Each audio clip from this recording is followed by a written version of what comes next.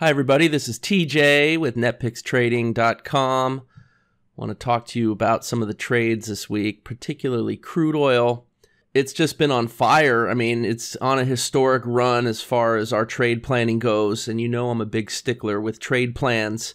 I'm a huge believer that the way to get to your financial goals through trading is to have a trade plan that you can prove works and will continue to grow your equity.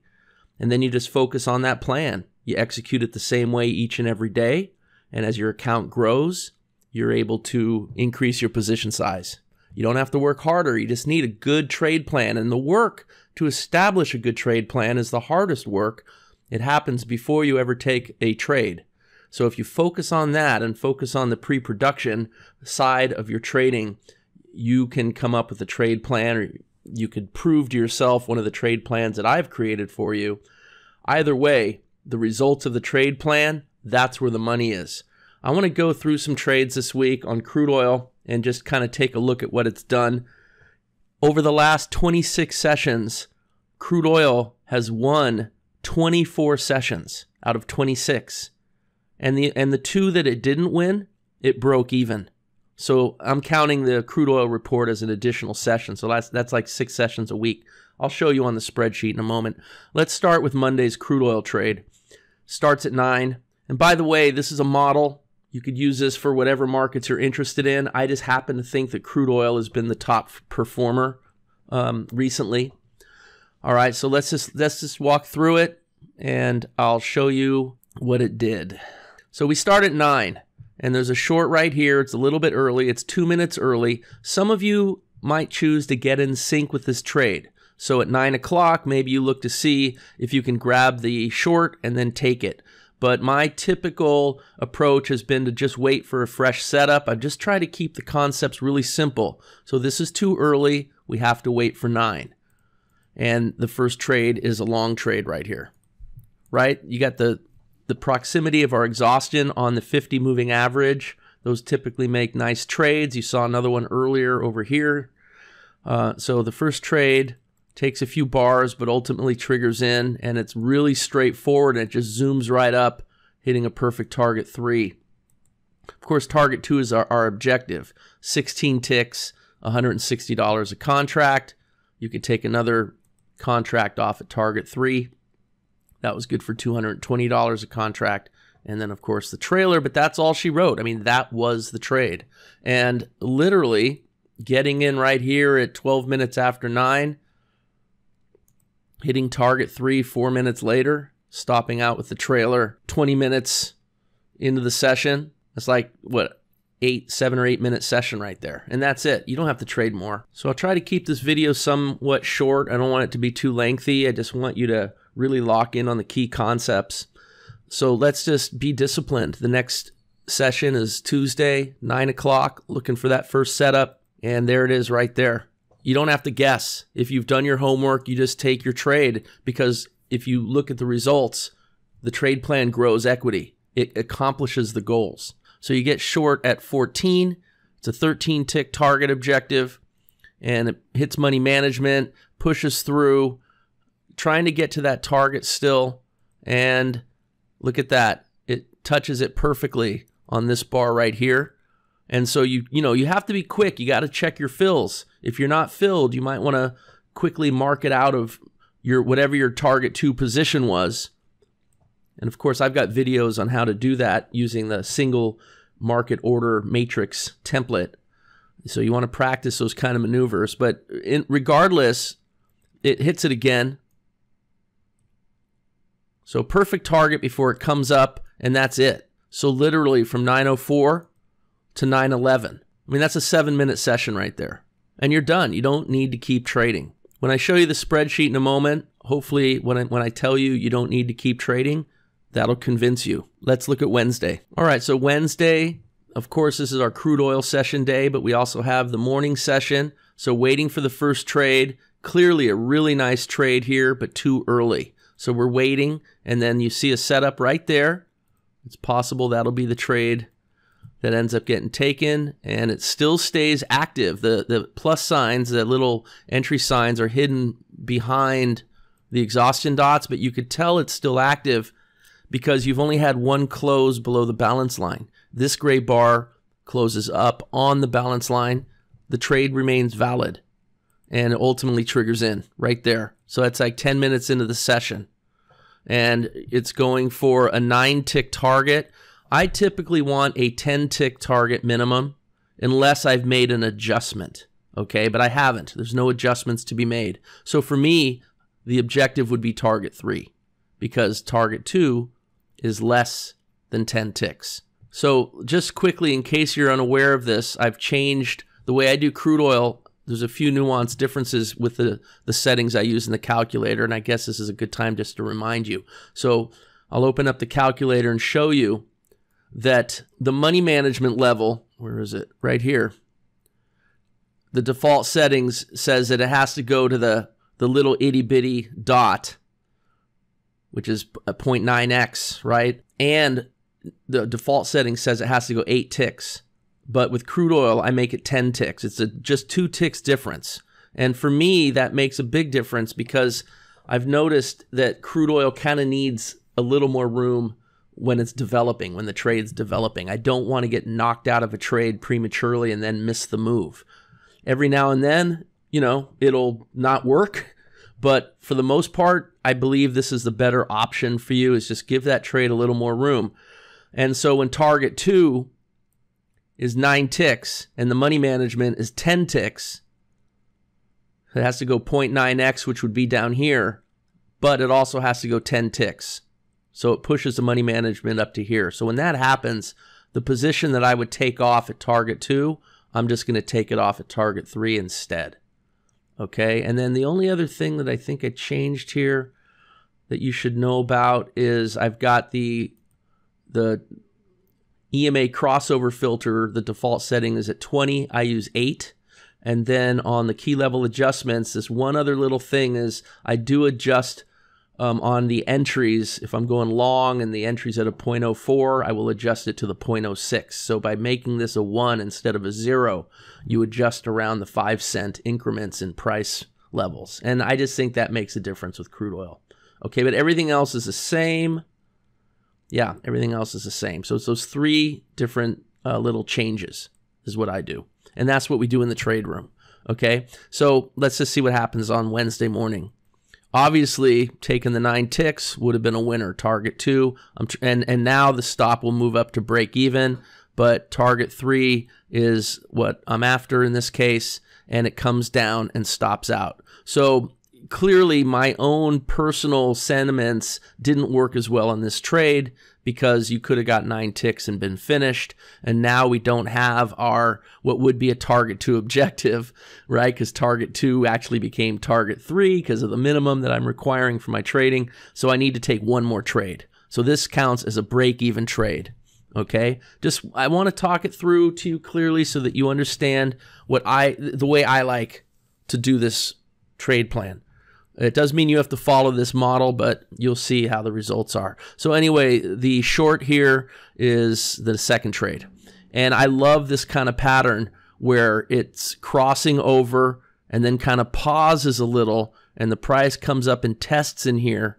It's even I like it even more when it, you know, fails below the yellow line, but in this case we don't know if it's failing yet but it does start to come down and you could see the curling down of the 50 and a little bit of the bending down of the 200 and you got this kind of bar with the wick stab stabbing up through the lines and then closing down. These kind of bars are really bearish in this case and then we get the short.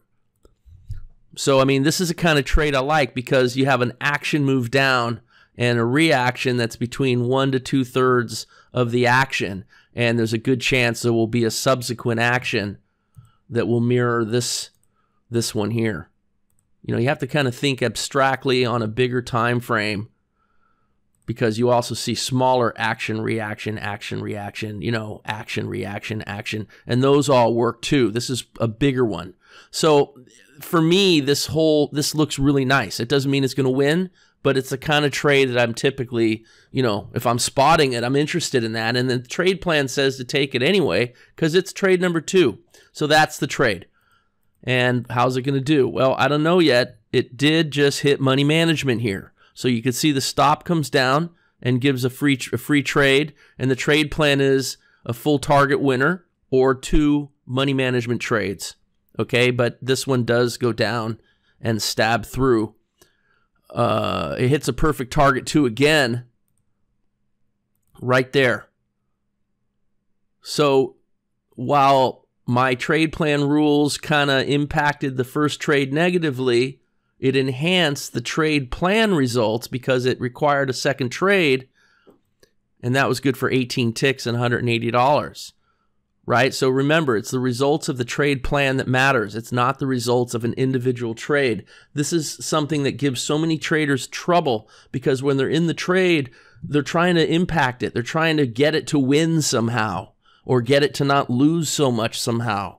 And what you have to realize is that the individual trade isn't what makes you money because you have to take another trade and another and another and it never stops. We're traders. So there's got to be something more than just the individual trade. And once you realize that, you will start to see a breakthrough in your results. It's the trade plan results that make you money. I cannot emphasize that enough. So this one, of course, ends up, I mean, that's a perfect trade. Look how perfect that is. It couldn't have gone any further. And the action moved down. Didn't quite get all the way to target four or target three, but it was still a good move and a perfect trade for us. And that's another winning session. So this is Wednesday, and there's a second session. We start fresh, and it's the crude oil report. So let's check that one out. That starts at 9:30, uh, 10:30. We wait two minutes. Normally, you're seeing me trade counterpunch trader, but Spotlight, I believe, is it's probably more profitable to trade Spotlight. I think the results are even better. And when you look at uh, what I show you in a few moments, you'll see that. So let's just take a quick peek. So waiting two minutes, waiting, waiting, waiting. There's a two minute mark right in here. So you have to take the next trade. It's the long trade right there. And nothing new to learn. And it just kind of does its thing. Look at that. That's a beautiful trade. Look at target four. And so target two, the primary objective, 17 ticks, 170 bucks, additional positions making money to target three, target four, or trail and then it stops out and that's just the absolute perfect trade and another one and done session and another winning session. Let's just look at thursday and friday briefly and then let's review some bigger concepts and i'll let you go. All right so this is our trade on thursday the 8th and we're waiting for 9 o'clock. And you know these kind of setups with the kind of hover around here and you know maybe you get in sync with that if that was right at nine because it just set up moments earlier. But you know that's a little more advanced and anyway it's not nine anymore. It's stabbed up too far right at nine. So uh, you know you let it go. Go with the next trade. First trade. And a good thing because it didn't even get to money management and that would have been a loser. But here's the first trade. It's a yellow trade right there and the you kind of have to look because the plus signs you can make those bigger so that you can see them easier but you know what two look for and you can see the stops across the top. You should know that's a trade. And it stays valid, valid, valid, valid, and finally triggers in right here. So we're getting short at uh, 61.49, and it's just a small little 10 tick trade.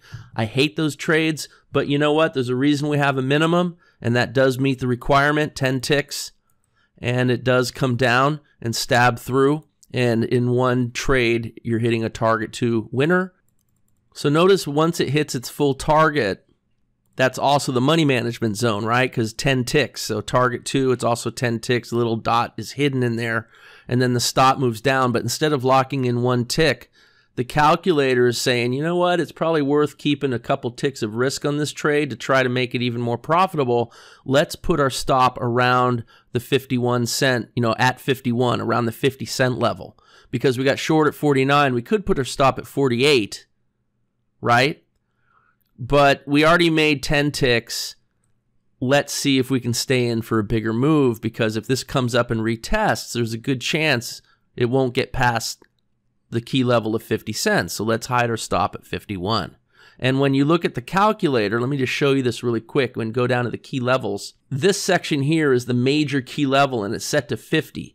That means the 50 cent increment. So 50 cent and, and uh, zero zeros, the dollars. And so what it says is, is that if you get within two ticks move the entry one tick beyond, and here is the stop zone. If it gets within two ticks, move it one tick to the other side. Okay, so 48 is two ticks from 50, the key, the major key level. So the calculator puts it one tick beyond, and that's why that stop is at 51. And it's a real intelligent maneuver because you don't have to think about it. It's doing it for you. You see? So look what happens. It does stab up to 50 and the stop is at 51, but then it closes down and then pushes lower. Now the stop is going to push down because you see how it gave the trade the room it needed to develop? That's what these concepts are supposed to do. But now that it's pushing lower, lower, lower, you've earned the right to make more money. And besides, the balance line's pushing lower, and the balance line marks the balance of power between buyers and sellers. So the stop pushes down and hides a couple ticks above, adjusting around key levels as well. And what a difference that makes because it pushes through and hits a target three. And that was good for 15 ticks. And still comes down and pushes down and hits a perfect target four, like perfect. Look at that. And target four was good for 20 ticks. And the stop keeps pushing down also. And then finally stops out right there what a trade, right? But notice how the tools and the trade plan rules and the maneuvers all work together in concert to get the most out of that trade. All right, let's just look at Friday. So we keep seeing these great setups that begin a few minutes early. This one was like six minutes before the start time, and when it finally triggers in, it's already past nine. But it went up pretty far, came down, and if you get in sync, you just take the trade. But remember what I said, we're just waiting for the next fresh setup. Now, if the price had just kind of hung right in there, or if it hadn't triggered in yet and then it's nine, hadn't really moved yet, that's the one time I kind of allow getting in sync. Uh, it doesn't happen very often, and it's just another complication. and it's just something that, you know, you could choose to do if you want. I like to show the get in sync trades because getting in sync is a concept that works great it's just if you're going to do it, make sure you test it and like the results as how it affects your trade plan. Okay, so let's just stick with what we do. Next fresh setup, 905. There it is, short trade, 59.89. You see your targets. 18 tick target two is a nice size trade, and it hits money management. This is such a straightforward trade because it just goes straight to target. Look at target two, the perfect stab down comes up and retests the 50 as it's failed to meet the 200 and is starting to bend lower. Could have an action. Not much of a reaction, which in, in, implies that the action move might still be going. And look at that, it just stabs through target three, diving down, the trailer's tracking it, it's target four, and then finally finishes right there. I mean, what a trade. And literally from 905 to the finish line here at the stop at 919. But if you're just going to target two, I mean, it gets there. It looks like it goes pretty fast, but it actually is pretty orderly because it took, what, like almost 10 minutes to get from here to here. So it's a little bit slower um, time wise, but, you know, the market doesn't care about time. You could just see that. And a perfect week, not a single losing trade this week, which leads me to what I'm going to show you next. So just really quickly, as you know, when I or maybe you don't know, but when I track a trade in the in um, Spotlight in my my spreadsheet, I'm tracking five positions so that I could see how the position does at target one, target two, target three, target four, and trail. Because sometimes it'll only go to target one, and then the rest will stop out for only one tick. Or to go to target two, and then the rest will stop out with a partial profit. And so it's not obvious which one of these produces the best. So I track them all so then I can go back and kind of analyze them later. Okay, so these this block of five trades is really one trade. You can see the same entry, the same start time, just different exit points. So this is just for me to learn, right? So you have to kind of take it uh, in context that, you know, those five winners, it's one winner. Okay, this 58 cents, that's if you traded five positions to four targets in a trailer. Notice target four only got five ticks, for example. On the next day, it hit our target two objective and then stopped out. It was, that was that perfect trade, right? But we're finished. So the dynamics of taking what the market wants to give you, allowing you to quit positive most of the time while minimizing your drawdown with efficient trading. So these are all the trades of the session, and you could just see not a single losing session. And if I go back to the following week, the session the Friday before was a winner, Thursday before was a winner, there was a losing trade. We don't care, right? It's how we finish. Day before a winning session, the day before, a lot of one and duns. This what the day before had to take several trades finally finished positive the day before, the day before, the day before. Look at these are all winning sessions, right? It's relative as to how much. This one was like a break even session. You had the two break evens that achieves the goals of the trade plan.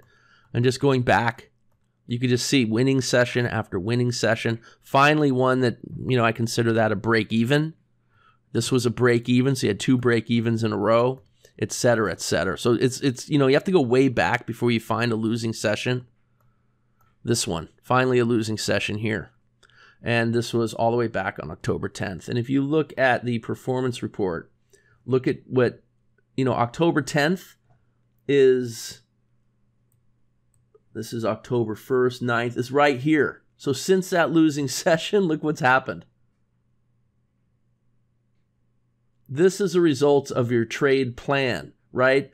Don't get caught up in the results of a losing trade or two or a losing session. There's not a lot of drawdown in here. Here's a period of time where you just don't make much money, right? You're trading up, down, up, down, up, down, up, down. Now you're kind of, you know, if you're a human being trying to trade, you're getting frustrated, you might even be quitting. But would you hate to quit and then come back and see this happen right after you quit? This too, this was a period of time that was a little hard. But those that stuck with it got this as a result. It's the trade plan that matters, guys. Treat it like a business, run it like a business. Sometimes businesses have slow periods, but the profits come rolling in. The busy periods come back. And if you've got a really great strategy and a really great trade plan, you can quit positive most of the time. By the way, this strategy is quitting positive on their sessions like 87% of the time. And that's who wouldn't want that? Okay? Anyway, hopefully enjoyed this video. Thanks for joining me. More to come. Look forward to the Spotlight 2.0. Some of the videos I'll be coming out with in the near future are going to be showing you what that can do. And then we're going to look at some swing trades as well because there are some amazing options trades uh, that are happening with the spotlight on the swing trade side of things. And we're going to take a good look at that as well. All right, so see you guys again in the next video.